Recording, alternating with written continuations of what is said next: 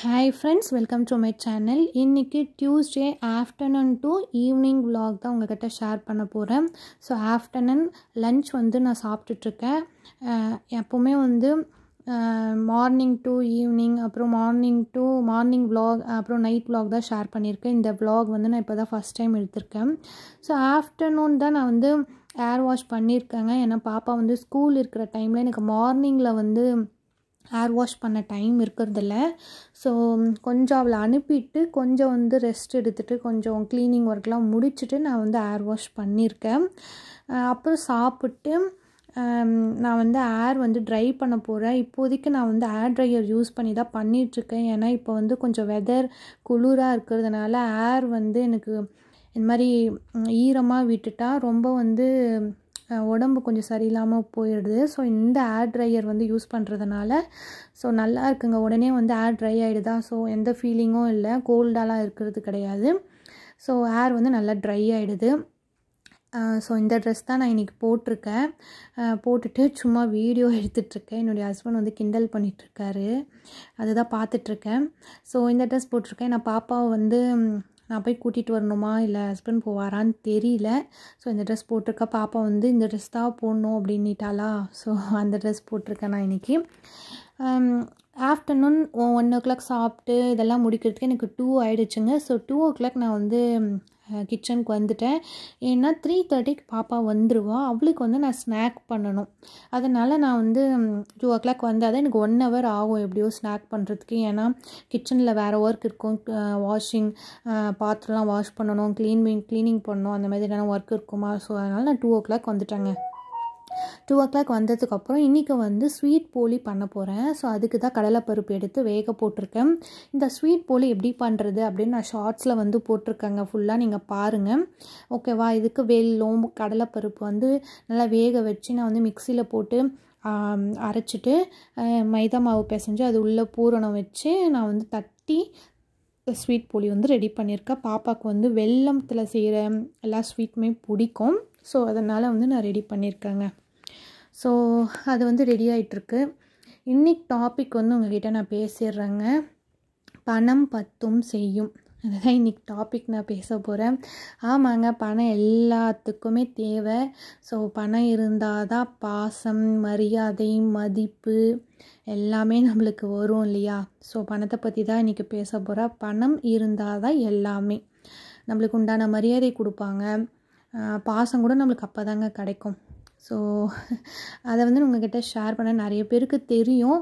So என்னுடைய personal எக்ஸ்பீரியன்ஸை um, வச்சு என்ன எங் என்னுடைய லைஃப்பில் நான் கேட்டதோ எனக்கு நடந்ததோ நான் உங்ககிட்ட ஷேர் பண்ணுறேன் ஸோ நம்மளை சுற்றி இருக்கிறவங்க சொந்தக்காரங்க நம்மளோட ஃப்ரெண்ட்ஸு இல்லை எதனா ஒரு உறவு பணம் இருந்தால் தான் நம்மளுக்கு மரியாதை கொடுக்குறாங்க. அது உண்மைதான். ஓகேவா பணம் இருந்தால் புது புதிய உறவு வரும் புதிய பாசம் வரும். நம்ம எல்லாத்துக்குமே நம்மளை எல்லா ஃபங்க்ஷனுக்கும் கூப்பிடுவாங்க. நம்ம அங்கே போய் என்ன பண்ணுறோம் நல்லா பண்ணிட்டா இன்னும் ஃபங்க்ஷனுக்கெலாம் கூப்பிடுவாங்க. அது வேறு விஷயம். இது என்னன்னா மற்ற உறவுகள்லாம் கூட எனக்கு ஓகே தான். அம்மா அப்பா அப்படின்ற உறவே சில பேர் தான் நான் சொல்லிகிட்ருக்கேன் இருக்கேன். யாரையும் மென்ஷன்லாம் நான் பண்ணல. சில பேர் நான் கேட்டதோ என்னுடைய அனுபவத்தை வச்சு நான் பேசிகிட்ருக்கேன் அம்மா அப்பா அவங்களே வந்து பணம் இருந்தால் தான் பசங்களையோ இல்லை பொண்ணு ஓகேவா? அவங்களையும் மதி மதிக்கிறாங்க. ஒரு வயசுக்கு அப்புறம் நீங்கள் வந்து வேலைக்கு போகலையா இல்லை வந்து உங்ககிட்ட பணம் இருக்கா? அதை பார்த்து தாங்க மரியாதை வருது. உண்மை அதுதான். இப்போ ஒரு பையன் ஒரு எக்ஸாம்பிள் நான் சொல்கிற ஒரு பையனோ பொண்ணுங்க ஒரு ஏஜ்க்கு அப்புறம் நீங்கள் வந்து ஒரு வேலைக்கு போகணும். ஓகேவா? வேலைக்கு போய் சம்பாரிச்சே ஆகணும். சம்பாதிக்கலைன்னா கண்டிப்பாக நல்ல அப்பா அம்மாவும் இருக்கிறாங்க.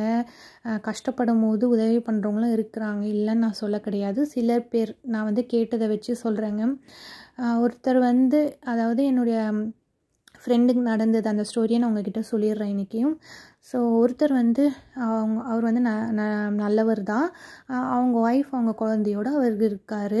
ஸோ அவர் வந்து வேலைக்கு போயிட்டுருக்காரு எல்லாம் பண்ணுறாரு ஆனால் அப்பா அம்மா என்ன சொல்கிறாங்கன்னா அவங்க வந்து இன்னும் கொஞ்சம் சம்பாதிக்கலை இன்னும் பெரிய வேலைக்கு போகல இன்னும் பிஸ்னஸ் பண்ணல நீ வந்து பெரிய சம்பாதிக்கலை அப்படின்ற மாதிரி பேசுகிறாங்க ஸோ இதுலேருந்து என்ன தெரியுதுன்னா அப்பா அம்மாவே வந்து பணம் இருந்தால் தான் மதிக்கிறாங்க.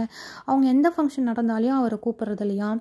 ஸோ அவர்கிட்ட பேசுகிறதுல ஏன்னா வந்து அவர் கம்மியாக சம்பாதிக்காரு. அவர் வந்து எதுவுமே இன்னும் வாங்கலை வீடு வாங்கலை கார் வாங்கலை. இது என்னால் நம்பவே முடியல. மற்ற உறவுகள் கூட அக்செப்ட் பண்ணிக்கலாம். ஆனால் வந்து அப்பா அம்மாவே இப்படி இல்லை இல்லை சில பேர் இருக்கிறாங்கன்ற போது என்னால் நம்பவே முடியல. ஸோ அதை தான் உங்ககிட்ட நான் ஷேர் பண்ணுங்க. ஸோ ஸ்வீட் போலி வந்து ரெடி ஆகிடுச்சு நான் என்னுடைய ஹஸ்பண்ட்க்கு கொடுத்தேன். நான் சாப்பிட்டு பார்த்தாரு. நானும் வந்து சாப்பிட்டுட்ருக்கேன். ரொம்பவே டேஸ்ட்டாக இருக்குது நான் வந்து ஷார்ட்ஸில் போட்டிருக்கேன். மறக்காமல் எல்லாருமே ட்ரை பண்ணி பாருங்கள் அப்புறம் வந்து உங்களுடைய குழந்தைங்களுக்கு நீங்கள் என்ன ஸ்நாக் பண்ணுவீங்க அப்படின்னு எனக்கு வந்து கமெண்ட் பண்ணுங்கள் எனக்கு கொஞ்சம் ஐடியா கொடுங்க. நான் வந்து என்ன ஸ்நாக் பண்ணுறதுனே தெரியல. எதேதோ பண்ணிகிட்ருக்கேன் நான். ஸோ பாப்பாவை கூட்டிகிட்டு வர வந்து ஹஸ்பண்ட் கிளம்பிட்டார். அதுக்குள்ளவே நான் வந்து பாத்திரம்லாம் வந்து கழுவி வச்சிட்டேங்க ஏன்னா அவள் வந்ததும் எனக்கு டைமே இருக்காது. கடகடன்னு ஓடணும். ஸோ பாப்பா வந்து வந்துட்டா பாருங்கள் அவள் வந்துட்டு அவள் யூனிஃபார்ம் வாஷ் பண்ணணும் socks lunch towel lunch box எல்லாமே எனக்கு வாஷ் பண்ணுற வேலை இருக்கும். ஸோ அவளுக்கு வந்து ஸ்வீட் போலி போட்டு கொடுத்துட்டு அவள் வந்து எப்படி ஆடிட்டே சாப்பிட்டுட்ருக்கா பாருங்கள் ஸோ அவளுக்கு போட்டு கொடுத்துட்டு நான் வந்து விளக்கேற்றவரு வந்துட்டேன். இன்றைக்கி செவ்வாய்க்கிழமை. ஸோ நான் வந்து விளக்கேற்றிட்டுருக்கேன் சாமிக்கிட்ட. ஸோ கடவுள்கிட்ட வந்து எல்லா குறைகளையும் நான் வந்து குறையில எல் எங் என்னுடைய என்னென்னலாம் சொல்லணும்னு நினைக்கிறோனோ அதெல்லாம் கடவுள்கிட்ட தான் சொல்லுவேன். ஸோ சொல்லிவிட்டு எல்லாருக்குமே நல்லதே நடக்கும் நல்லதே நடக்கணும் அப்படின்னு நான் வேண்டியிருக்கேங்க. கவலைப்படாதீங்க. எல்லாருக்குமே நல்லதே நடக்கும் அப்படின்னு ஒரு பாசிட்டிவ் எனர்ஜியோடு நம்ம இருப்போம். ஓகேவா இப்போ வந்து நான் ஹஸ்பண்ட்க்கு வந்து ஜூஸ் போட்டுட்ருக்கேன். அவர் வந்து இந்த பிளாக் கிரேப்ஸ் இருக்குது இல்லையா அதை வந்து குடி குடிச்சிட்ருக்காரு. ஸோ அது வந்து நான் ஜூஸ் போட்டு அவருக்கு வந்து கொடுக்குறேன் ஈவினிங்கில் மார்னிங் இல்லைன்னா ஈவினிங் ஒன் டைம் வந்து அவர் இப்போ எடுத்துகிட்ருக்காரு இந்த ஜூஸை ஸோ நானுமே வந்து குடிச்சிட்ருக்காங்க. ஸோ இது நம்ம நிறைய பேர் என்ன தப்பு பண்ணுறோன்னா ஹஸ்பண்ட் கொடுக்குறோம் குழந்தைங்களுக்கு கொடுக்குறோம் நம்மளுடைய டேக் கேர் வந்து பண்ணிக்கிறது இல்லை ஸோ ஒவ்வொரு வீடியோலையுமே நான் இதை சொல்லியிருக்கேன். உங்களை டேக் கேர் பண்ணிக்கோங்க. உங்களை வந்து கவனிச்சிக்கங்க. உங்களுடைய ஹெல்த் ரொம்பவே முக்கியம். அதை வந்து நான் ஒரு ஒரு வீடியோலுமே சொல்லிகிட்ருக்கேன் ஓகேவா இப்போ டைம் ஆயிடுச்சு. வெளியில் வந்து விளக்கு வைக்க போகிறேங்க நான். ஸோ ரெண்டு விளக்கு வந்து வைக்க போகிறேன் அதுக்கு வந்து ரெடி பண்ணிகிட்ருக்கேன் ஸோ கார்த்திகை மாதம் இல்லையா?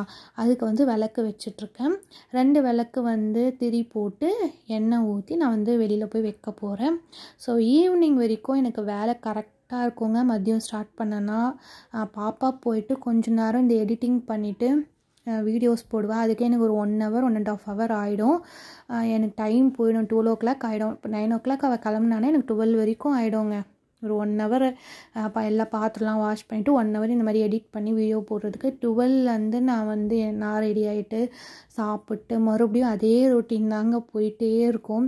ஆனால் வேலை வீட்டில் தானே இருக்கிற அப்படின்னு சொல்கிறாங்க நம்மளுக்கு எவ்வளோ வேலை இருக்குது தெரியுமா?